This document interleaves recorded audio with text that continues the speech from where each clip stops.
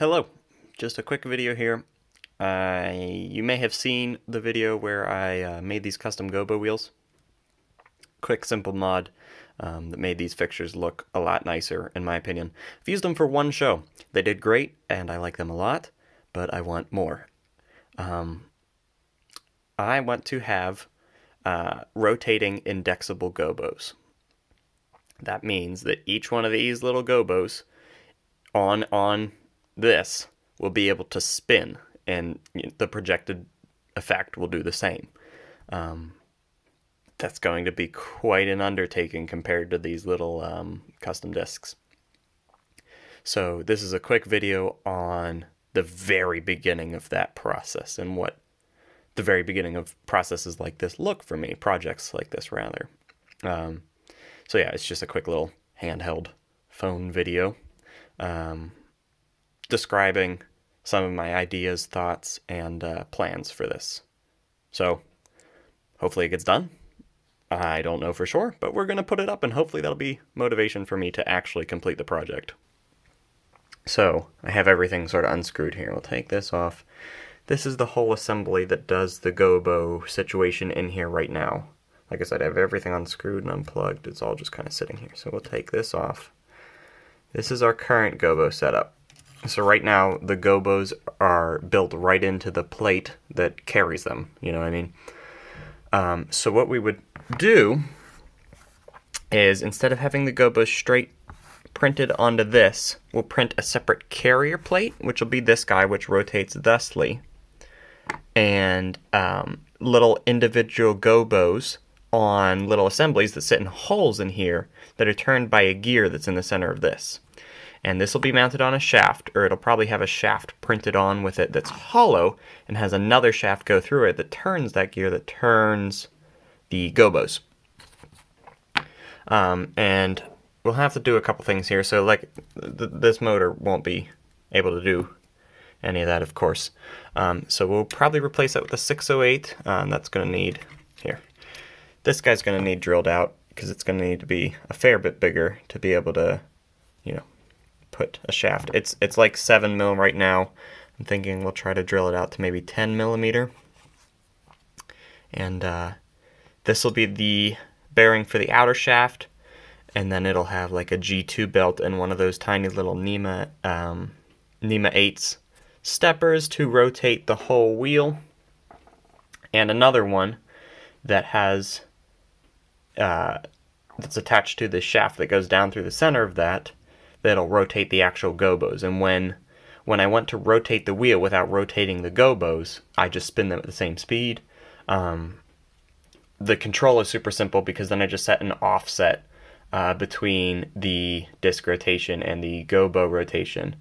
I offset it, and then if I turn the wheel and turn everything at the same speed, they'll stay all indexed in the same position, you know, throughout the movement and all that. Uh, control's easy. Um, anyway, from there, uh, we're going to have to redo all of the controls because, well, for one, this is a stepper driver short. Um, we could probably get by, maybe, maybe not, with the driver that's driving this little unipolar guy for one of them, but we need two. So, we're going to have to redo the controls entirely. Um, yeah, so that'll be a custom PCB. I'm trying to decide whether this control scheme is going to stay the same because doing that custom PCB means I can I can make it whatever I want. I can make it all controlled over the network um, and make them all networked and uh, not have to deal with this.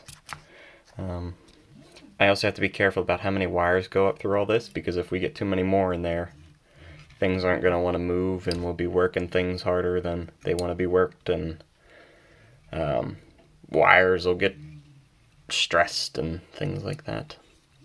Uh, we'll have to try to minimize that thickness to give us the most space possible. We have a good bit. Um, it's, it's not too bad. So, now some challenges we may face with, uh, with this guy, the carrier and gobo assembly. We may have to reduce the total number of gobos that are on here, just to make sure that all the gear assemblies can fit and not interfere with each other. but that's okay because I will only need one gobo to make up for both of these, one gobo for both of these, um, things like that. I don't really need all that many more gobos. I just want to be able to move them, you know. So um, we'll probably have to reduce the number of gobos on these, or just see if uh, we can make a way, come up with a way to make them all fit.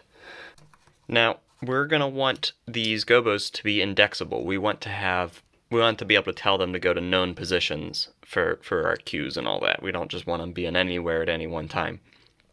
So we'll need to home them in addition to homing this wheel and the color wheel. So right now, these guys just run themselves to a screw until they skip a bunch of steps. They run the motor for like an amount of time that they know it will have gone around at least one time. It hits that end stop and then from there you know where that motor is at. Um, but since all of this, we're also going to make this wheel be able to rotate continuously to get the colors faster and make effects better. Um, same with this guy and the indexable gobos. We have to home them. Now, like I had previously mentioned, we can only have so many wires going down here, so ideally we'll do that with one sensor. Now the way we'll do that is with a clever homing routine. So first we'll home the color wheel, then we will home the uh, the gobo carrier, and then we will home the gobos. We can do all of those separately and use just one sensor with one wire going down into here instead of three. Um, even doing it with three would be probably just as complicated as doing it with one. Um, this won't take all that long. I think this will work well. So what we'll do is um, on each disc there'll be a little magnet and a Hall effect sensor will be over here. So we'll home this guy. It'll home on the Hall effect sensor and then move its magnet out of the way. Then we'll home the gobo carrier. Um, home it once, rotate the gobos and make sure it doesn't changes it. If it does, doesn't change it rather. If it does, um, make it so that the gobo is in a place where it's not tripping the Hall effect sensor and then home this again. From there you'll have a home. Um, put the homing magnet for this on the opposite side of the gobo with the homing magnet on it. Rotate to the gobo with the homing magnet and home the gobo. And uh, that ought to get us homed. Um, considering using stepper drivers with step loss detection,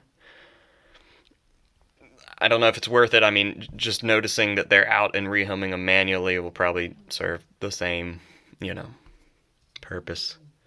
But uh, yeah. We also have to be concerned about materials here. This is going to be a lot of 3D printed parts and a really high intensity uh, beam of light, of focused light. Um, I think we're going to print with uh, uh, polycarbonate. Um, this will be my first time printing with polycarbonate, so that's that's going to be uh, interesting. It's more thermally resistant than the other plastics that I have on hand. Um, I'm hoping they'll be thermally resistant enough to not melt under the uh, the added heat from the absorbed light that they'll be experiencing. So yeah, I think that's most of it. Um, I'm going to provide more sort of formal documentation of this whole process as it gets rolling. So keep an eye out and watch for more videos.